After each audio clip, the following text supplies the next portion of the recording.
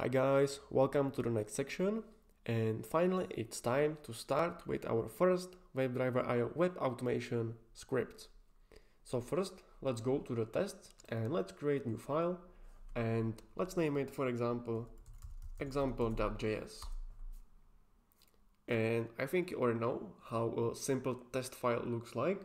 Since we are using Mocha, we always need to start with something called describe block.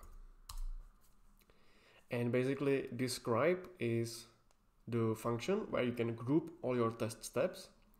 So we will start description. For example, first steps with WebDriver IO.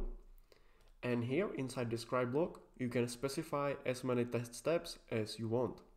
And each test step start with keyword it. And again, each it has a description. So let's start with simple launching the browser and opening a simple website. So I'm gonna give a description, load example website. And here you can specify your WebDriver IO code. So let's start with launching the browser and navigating to the URL. And for that, WebDriver IO provides us with a global object called browser. Oops, sorry, it's browser. And the browser has some functions and the first function you need to learn is URL. And here you need to set the address which URL you want to load. So let's start with example.com, which is nothing but a simple website. And as you can see, this is our first script. Basically, we are telling the global browser object to call URL function and by the name URL, you can see that it's navigating to this website. So that's pretty much it. Now we can run the simple test. But first, let's create a script. So go to the package.json and as you can see, there is no test specified in the script and we need to update it.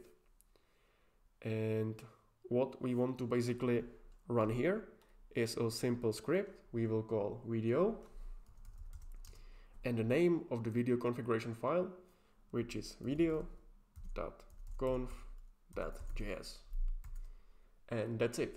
Now if you hit test script it will launch everything specified in the wdio config and it will start executing the tests.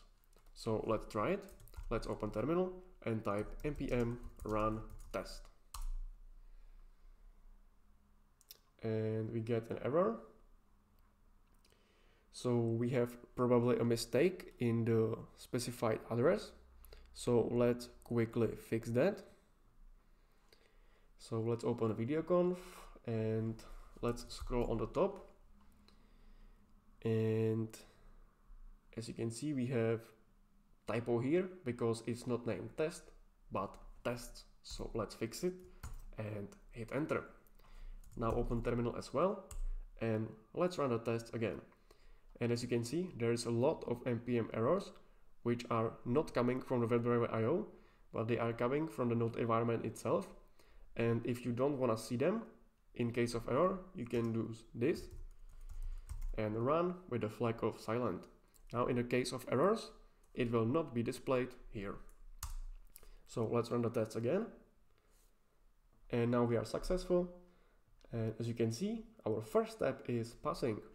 So congratulations, you are able to create your first WebDriver IO test.